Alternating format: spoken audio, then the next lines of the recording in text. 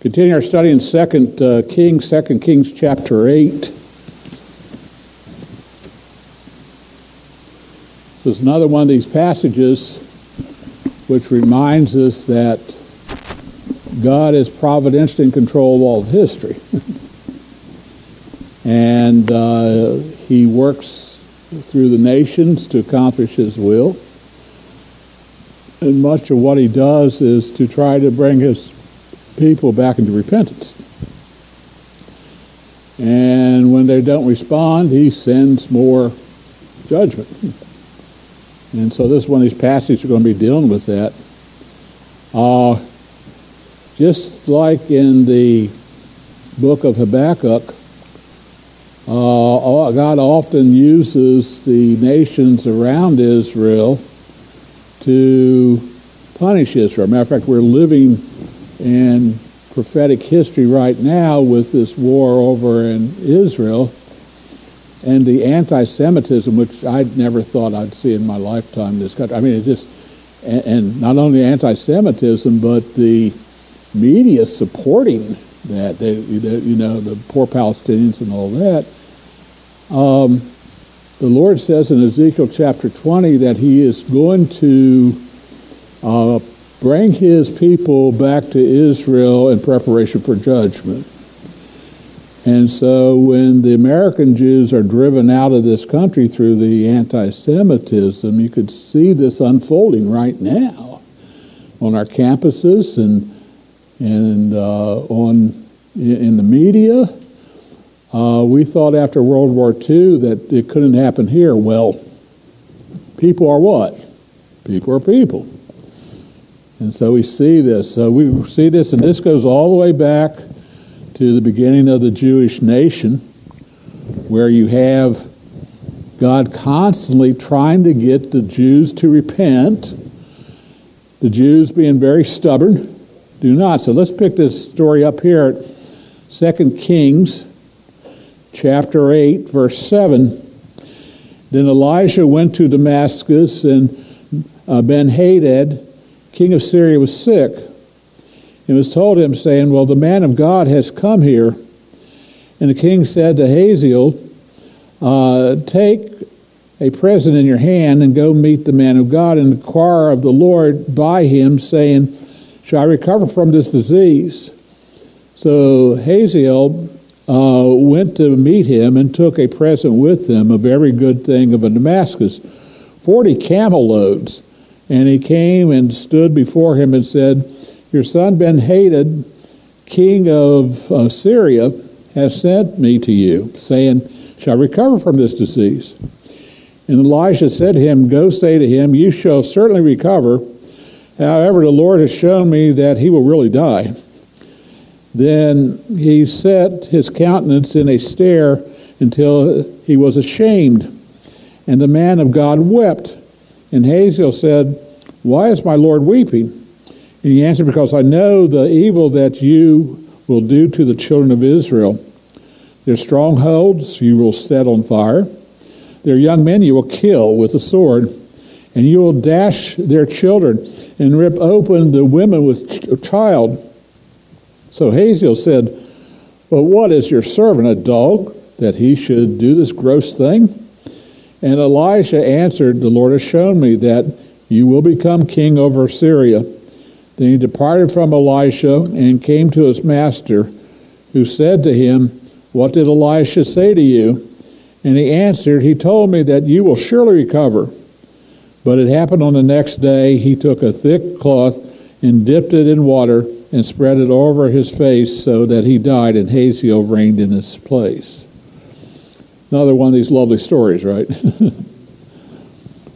There's several points of the narrative that are very unusual, just, just kind of odd. It, it jumps out as, first of all, what is Elisha doing in Damascus, Syria? He's a prophet of what? Of Israel. He's, so he's up here in Damascus, the capital of Syria. Syria, of course, was the enemies of Israel. So what's he doing in Damascus? We're going to get to that in a second. Secondly, it's odd that Ben Hadad II seeking the Lord through Elisha, the prophet of God. He has his own pagan gods he worships. But Ben Hadad, he is the one who had tried to capture Elisha, remember? Because Elisha kept telling the king of Israel where Syria was going to attack. He wanted to execute Elisha. Uh, Elisha also had warned the king of Israel of Syria's plans and led him, led the army of Syria into uh, Samaria. So here, Ben Hadad, now I want you to notice three things here. Number one, Ben Hadad does not go to his idols. He's probably gone to his idols before, they really haven't done anything for him, right? Secondly, I want, I want you to notice here, he says that Elijah, the prophet of the Lord, he, he acknowledges he's what? The Lord. Well, wait a minute. If he's the Lord, why don't you repent, right, and serve him like Naaman did? The third thing I notice here, which I think is kind of unusual, is the fact he Haziel calls Ben Hadad your son. in other words, Elijah is the father in a sense that Elijah has connection with the Lord God and therefore has a superior position. And so all this is kind of odd. Now, Ben Hadad has taken what a lot of people take as the magic genie approach to God. Uh, I ignore God till what? Till I need Him.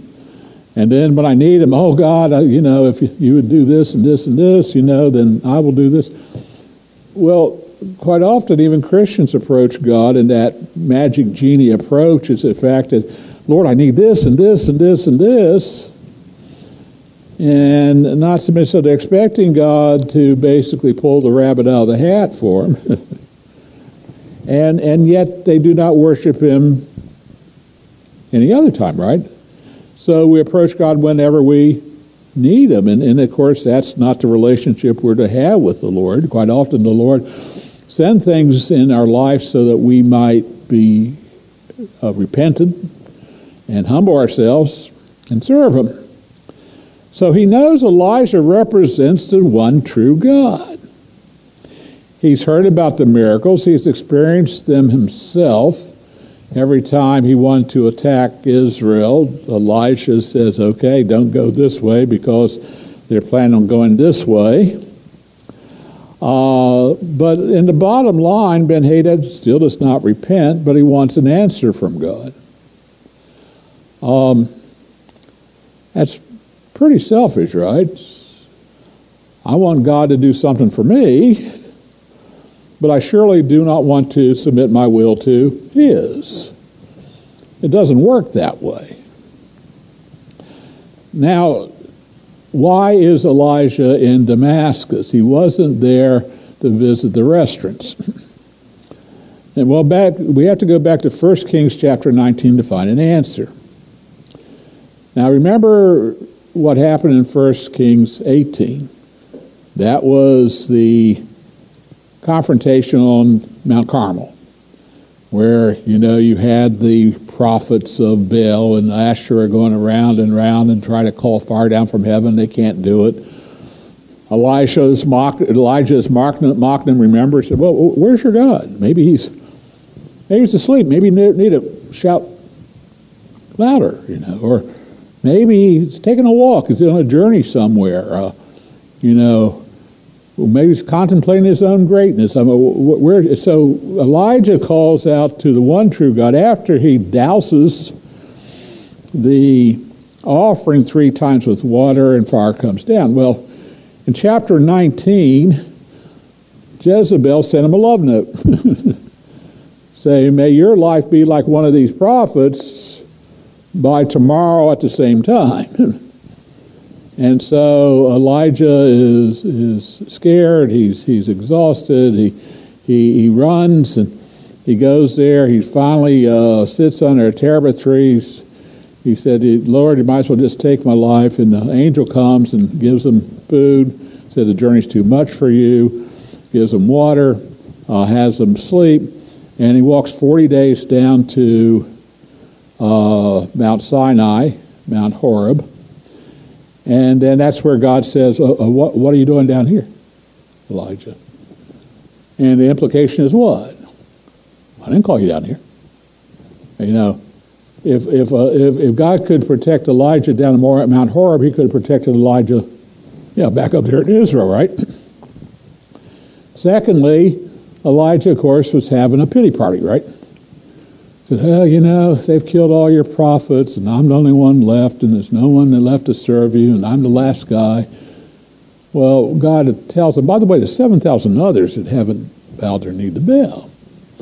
Now, what does that have to do with what we're talking about this morning? Well, God gives him an assignment. I want you to notice a couple things God does. He does the same thing with Moses, does the same thing with Jeremiah. He doesn't give this, oh, you poor fellow, sympathy. He, tell, he, gives him another assignment.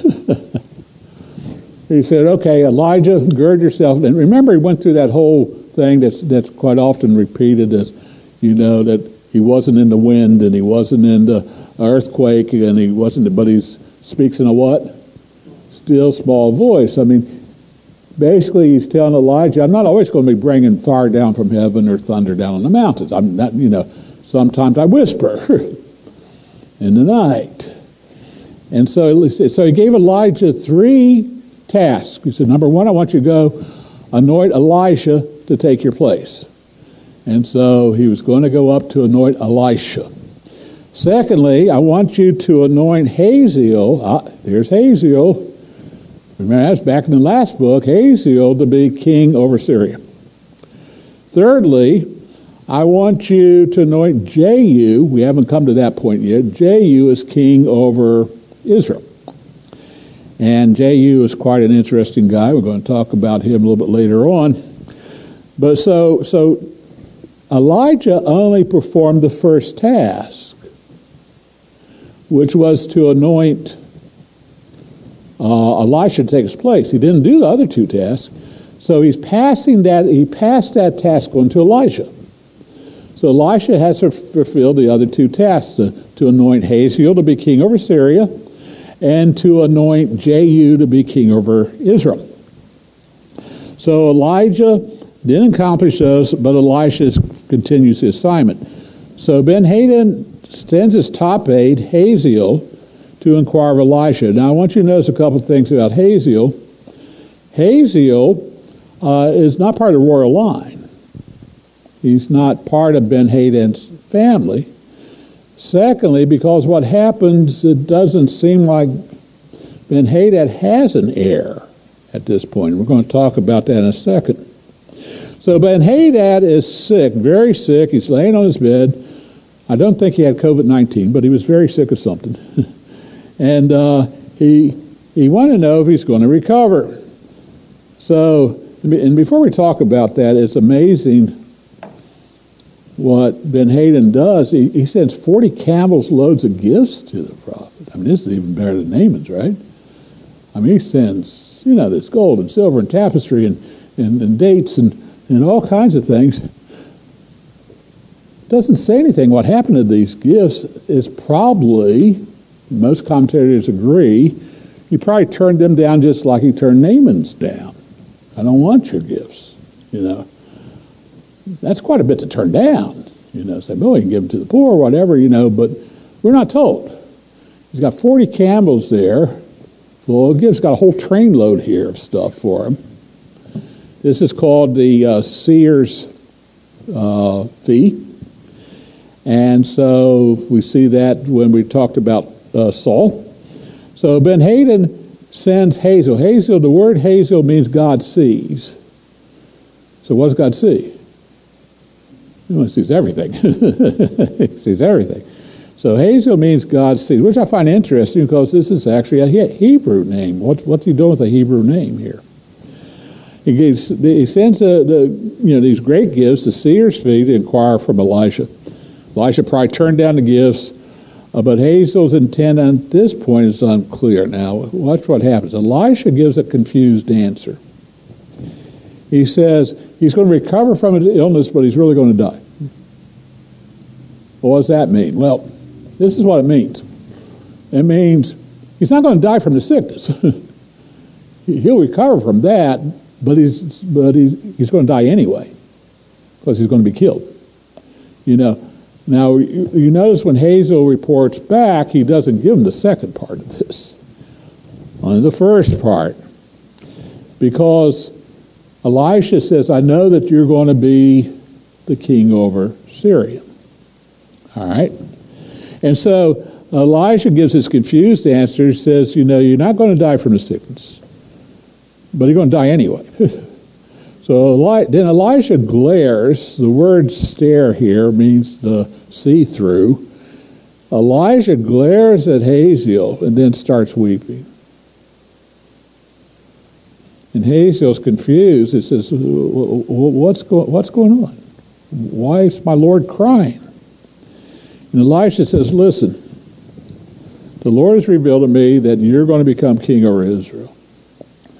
And not only are you going to be king over Israel, you're going to brutalize my people. You're going to kill the men by the sword. You're going to rape the women. You're going to cut women with, who are pregnant with children wide open. You're going to do all these despicable, brutalized things because the Lord has revealed it and you're going to raid and you're going to do all these things to people. And Hazael protested, Am I such a dog to do such a despicable thing? Elijah, Elisha said, Listen, the Lord's revealed it. You're going to do it. And so I, I want you to notice two things here at this point, too. Is one, Hazael acknowledges it's a despicable thing. But number two, once he becomes king, he does it anyway, right? And so when he becomes king, he becomes brutal, and he becomes he becomes uh, uh, very aggressive. So Hazael delivers the news of Ben Hadad. Ben Hadad says, "You know, what did what did Elisha tell you?" He says, "He says you're going to recover from from the sickness." He leaves out the second part that he's going to die anyway. Uh, Hazael's not part of the royal line. He is probably uh, his head general at this point, uh, attache or whatever thing. So the, on the next day, Hazael takes a wet cloth, puts it over the king's mouth, and, and, and smothers him. And it's an easy way to kill the king because people will assume he died of what? died of his illness. so Hazael was going to be able to get with this because, after all, well, the king was very sick. And Hazael comes out and says, Oh, the king's, the king's dead. You know, must have died of his illness. You know, and so he's able to do this. So Hazael takes the throne. And I imagine, it's not, it doesn't say here, but I imagine Hazael probably came out and said something in a very contrite way.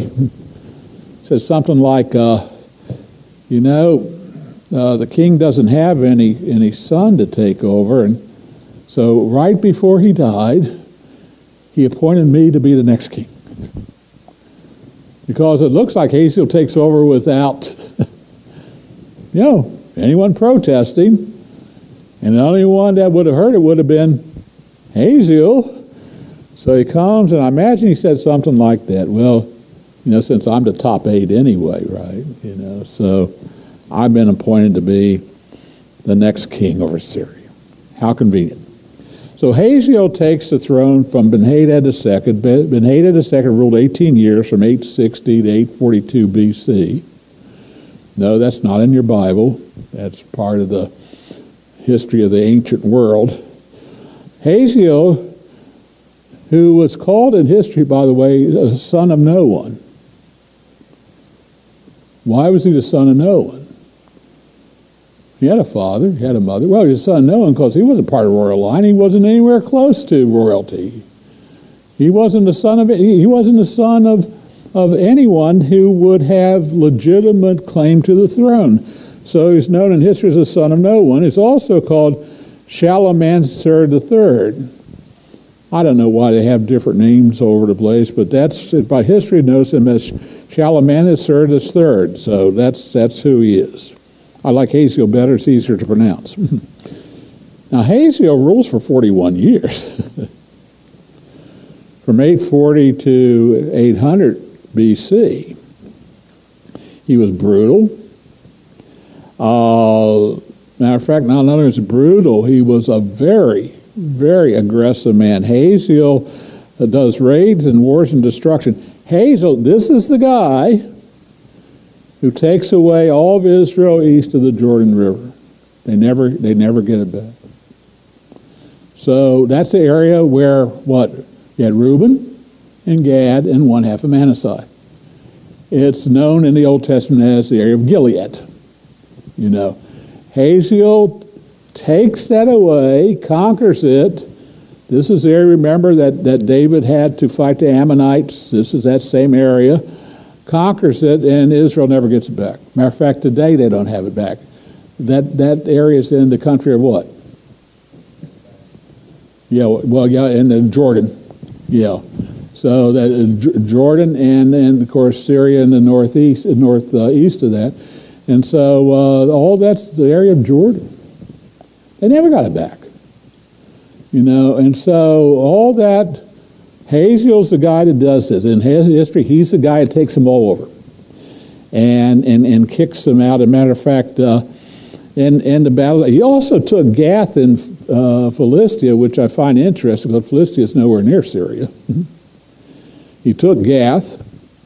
Uh, he wounded Jehoram at Ramoth Gilead uh, when he took the eastern part of Jordan. He attacked Judah and was about to take that over. Judah, the king of Judah, was uh, uh, Jehoaz at the time. And Jehoaz pays him a tribute to leave his country. said, I'll give you all this silver stuff like that if you just would leave us alone. And so he takes back the booty that he would have gotten anyway if he took Judah. So, so he took that act. This is a very brutal guy. Now, God will use brutal means to chastise an unrepentant people who refuse to humble themselves. Um, we see that throughout the Old Testament. We see that in the New Testament. You know, he's going to th- throw this Jezebel. There's three things he tells the Thyatira church about Jezebel. So, number one, you haven't taken care of it. Number two, I gave her time to repent. She would not do so. Number three, I'm going to take over now. And I'm going to kill all our children. And I'm going to throw her in a bed of affliction. And so, if the church doesn't take care of what it's supposed to take care of, God will take care of it. We have that over in 1 Corinthians 5, where the man takes his father's uh, wife. He says, okay, Corinthians, not only, uh, uh, not only have you not taken care of this, but you have kind of agreed with it. You've kind of treated, I mean, even pagans don't do that. Therefore, I tell them, you kick them out of the church and let Satan you know, uh, be a thorn in his flesh, you know, to, to chastise him. If we don't take care of the things God tells us to take care of, then God says, I'll take care of it, and it's a lot rougher. Because the church's supposed to do what?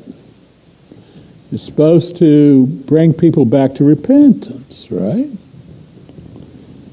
And so, woe unto the man who falls into the hands of a living God. That's exactly right. And so throughout Judges, God sends raiders and, and people to attack Israel. Israel and Judah remain stubborn. Finally, in 722 BC. Now, at this point, you were within a century of Israel being taken away. And then after that, another uh, 150 years later, Judah's taken away. Okay? Now, some, like David, repented after they were confronted. Uh, the prodigal son repents, right? Luke chapter 15. But many do not. Revelation 16 9, and they still would not repent. The repentant need not go through the chastisement because they already have come back to the Lord. But the more stubborn we are, the more pressure the Lord puts on. Matter of fact, we have communion this morning, and we see that in 1 Corinthians 11. Many of you are sick, and many are you have you what? Fallen asleep. Many of you died because you have taken the Lord's Supper in an unworthy manner. And so it's, you know, I think that's what the songwriter went through when he wrote the song. Uh, it's best to let him have his way with thee. you know, I can imagine Jonah might have done something different had he known. Say, Jonah, you can get there on your own two feet, or I can provide transportation for you. It's not first class accommodations. you know. So we either get there by obeying the Lord, or the Lord will have his way, and we will remember when the Lord, you know, leads us in a direction. Okay, let's have a word of prayer and we'll have a discussion. I think it's kind of an interesting passage. Dear Heavenly Father, we thank you, Lord, for this day. We thank you, Lord, for the privilege of being here this morning. We just pray, Lord, that you just draw us ever closer to you. And Lord, may we not be stubborn. May we stand for what's right and what's true. And may we repent. I mean, even these kings that are mentioned here see the power of God, yet do not submit to you, Lord. Lord, may that not be so with us, that we might submit and, and come before you and and honor you, Lord, and, and, and obey you in all things. For it's in Jesus' name we pray. Amen.